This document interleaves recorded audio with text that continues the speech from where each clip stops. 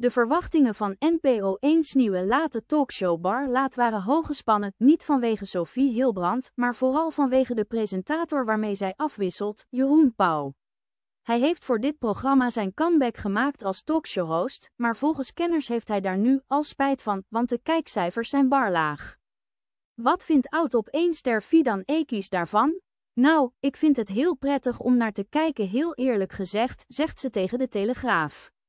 Honestly, er is nu zoveel aan de hand in het land, ik kijk alles. Ja, ik kijk alles.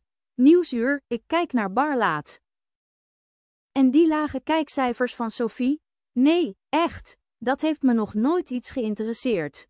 Die hele talkshow-oorlogen altijd en mensen die daar dan van alles van vinden. Let it be, weet je. Er is zoveel aan de hand op de wereld. Who cares? Fidan vindt het dan wel weer leuk om kijkcijferautoriteit Tina Nijkamp te volgen. Ik volg Tina trouwens wel. Dat vind ik dan weer wel heel leuk, hahaha. Ik vind het dan wel juicy om het bij Baar te zien, maar het is niet zo dat als ik bij. Volgens mij had Sven dat ook altijd. Ja, ik was er niet mee bezig. Tina stelt dat Bar laat veel slechter scoort dan op 1. Weet je dat ik daar niet eens aan heb gedacht? Ik heb er geen seconde aan gedacht. Oh, dat is best wel erg, denk ik. Nee, geen seconde aan gedacht. Ik ben echt iemand die dan denkt en door. En ik gun het ze. Ik weet niet eens of zij er meer of minder hebben dan op één had en I don't care. Heeft Vi dan het idee dat talkshows een beetje uit zijn? Nou, VI wordt heel erg bekeken natuurlijk.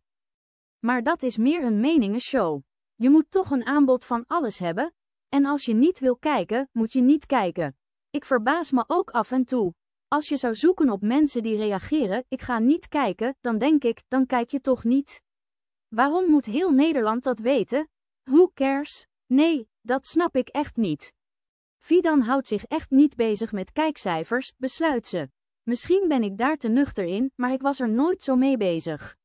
Ik vind het wel leuk als Tina het opschrijft, maar die heeft er ook altijd heel leuke teksten bij.